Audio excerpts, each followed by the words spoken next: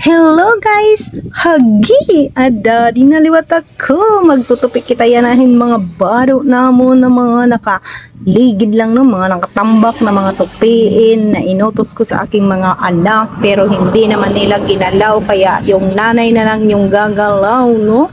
So ayun tapos ko na agad matupi yung ating mga tupiin dahil katatapos lang natin dyan mag live at nagre-reklamo na si Inday yun sa kanyang boyay dahil malaki-laki na raw yung kanyang boyay no? Kaya ayan dadalhin ko na rin itong aking mga tinupi doon sa aming payag doon sa aming kwarto. Kasi hindi kami dito sa mismong aming bahay natutulog doon kami sa payag-payag lang kasi super init at medyo mapresko-presko naman yung aming payag-payag no? Kaya doon talaga kami natutulog mag-asawa pati si Alter guys. Kaya i-deliver ko na yung aking mga damit dahil dinala yan ni Dritz doon sa sala. Dahil tutupiin niya daw kagabi pero hindi naman niya na naisipang tupiin. Kaya ayan syempre ako na lang nagtupi kasi maglilinis ako ng aming sala. Kaya ayan kaya ayun yung sinasabi ng mga matatanda dati naalala ko sa sinasabi ni mama dati nga akon sugo akon tuman. O di ba? Naranasan ko na char. O di ba? Totoo talaga yung sinasabi nila. Pag nagutos ka sa mga anak mo akon sugo akon tuman. Hala na! Huy nagrireklamo ang nanay. O di ba? Sa kahit sino naman talaga guys no? Yung inuutos mo sa mga anak mo. Sinong relate diyan ng mga nanay taas ang kamay. Yung inuutosan mo yung anak mo magtupi tapos maglaba. Hindi hindi nila inaasikaso yung mga inuutos sa kanila habang sila ay ano kaya ayan si nanay tuloy nagagalit na no? Kaya ayan nagtupi na ako doon sa taas guys. Tapos ko na matupi doon. Kaya ayan punta tayo dito sa aking tindahan no bago ako maligo, tiningnan ko yung aking mga soft drinks. Ayan.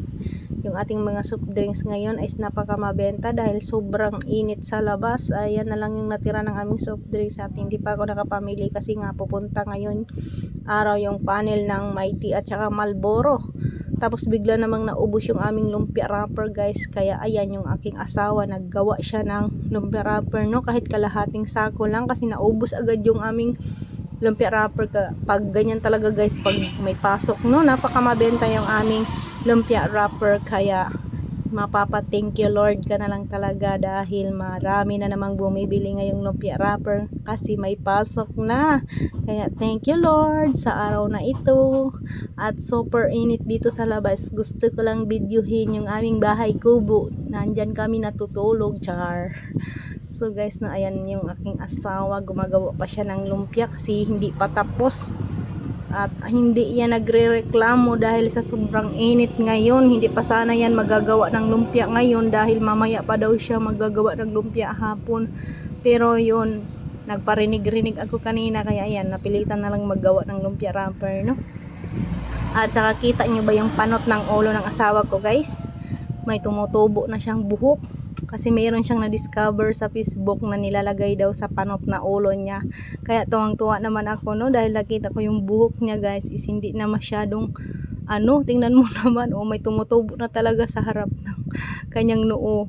Ayan na-amaze talaga ako at natutuwa rin ako no? Akala ko habang buhay na yung asawa ko napapanot yung ulo may solusyon pala yung sa kapanot ng ulo niya guys. Kaya natawag-tawa talaga ako. Kaya binidyoan ko talaga yung ano niya yung panot na ulo niya. Tapos ayan napatakbo ako dito sa tindahan kasi may bumibili nga. At nagtambay-tambay kasi ako doon sa ano sa lumpiaan no? Kasi dito sa tindahan ay super init. Yung singaw ng ano ng kalsada ay maano talaga dito sa tindahan kaya ayan medyo napatambay-tambay ako doon sa likod ng bahay namin kasi may mga puno doon na hindi rin masyadong mainit no? Kaya wala naman tayong tindera kasi nga may mga pasok na yung mga bata. Kaya ayan tuloy ako tuloy yung napaano ngayon ng pagbantay talaga ng aming tindahan. At tingnan mo na yung mo naman yung muka ko no yung pagmumuka ko ay super init na naman at saka parang nasusurog na siya. Kaya lagyan ulit natin ng ano yung sunblock no? O di ba? Maglalagay tayo ng sunblock dahil sa super init. Tapos i-close ko muna yung ano dito sa tindahan kasi tanghaling tapat talaga yung ngayong oras na ito. Mga mga alas dos na ata ngayong oras na ito. Kaya sige lang sige talaga pagbutang o kuan ay sunblock kasi grabe super init no? Ayan yung ating pagmumuka so ang haba na naman yung aking mga daldal daldal -dal. so mamaya ulit guys. Tayo ay matulog. Mamaya ulit. Babu. Ayan papakainin muna natin si Alter kasi nagugutom daw siya. So hanggang dito na lang yung ating video. Babu. Thank you so much. Thank you for watching. Bye bye